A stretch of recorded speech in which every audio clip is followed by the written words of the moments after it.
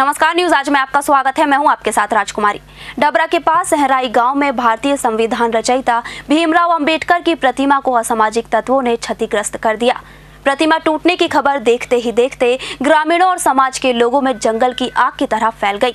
सूचना मिलने पर पुलिस ने अज्ञात लोगों के खिलाफ मामला दर्ज कर उनकी तलाश शुरू कर दी है। देश के विकास में अभूतपूर्व योगदान देने वाले संविधान रचयिता की प्रतिमा को संकीर्ण मानसिकता के शिकार लोगों ने क्षतिग्रस्त कर दिया। प्रतिमा के टूटने की खबर फैलते ही भीमराव अंबेडकर के अनुयायी इकट्ठा हो गए और नई प्रतिमा स्थापित करने की मांग करने लगे। सूचना मिलने पर जिला प्रशासन के अधिकारियों ने घटनास्थल पर पहुंचकर ग्रामीणों की मांग मान ली।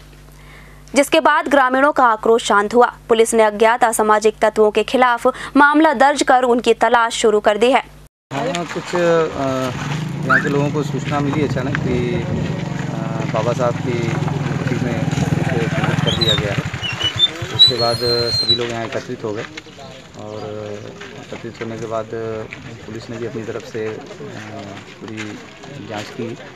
तो अभी तो किसी का नाम उभर के सामने नहीं आया है और पुलिस के द्वारा भी अपराध के खिलाफ एफ़ आई आर दी जाएगी। और लोगों का ये कहना था कि इसकी जगह कोई दूसरी मूर्ति की स्थापना कराई जाए। तो इसके लिए हम लोग सहमत हैं। भी अ, बाबा साहब की दूसरी प्रतिमा यहाँ लगा दी जाएगी। मामला ये है कि रात में किसी ने अज्ञात व्यक्ति ने यहाँ पर आके बाबा साहब की प्रतिमा को क्षतिग्रस्त कर दिया है। कुछ लोग चाहते हैं कि हम लोग उग्र होकर, उग्र आंदोलन करें, जिससे हमारे ऊपर केस दर्ज हो या माहौल ख़राब हो। इस तरीके की बहुत से लोग चाहते हैं, लेकिन ऐसा हमने नहीं किया है। हम लोगों ने शांतिपूर्ण तरीके से पूरे मामले को निपटाया है और एस साहब भी आश्वासन दिए गए हैं कि कुछ दिनों में आठ दिन में हम मूर्ति रखवा देंगे।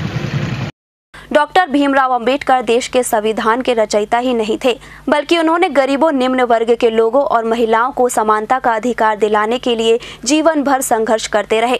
ऐसे महान व्यक्ति की प्रतिमा तोड़ने वाले लोगों को संकीर्ण मानसिकता वाला ही कहा जा सकता है। डबरा से अजय गौर की रिपोर्ट, न्यूज़ आज। और इसी के साथ मुझे दीजिए इजाज़त और आप देखते रहिए न्यूज़ आज।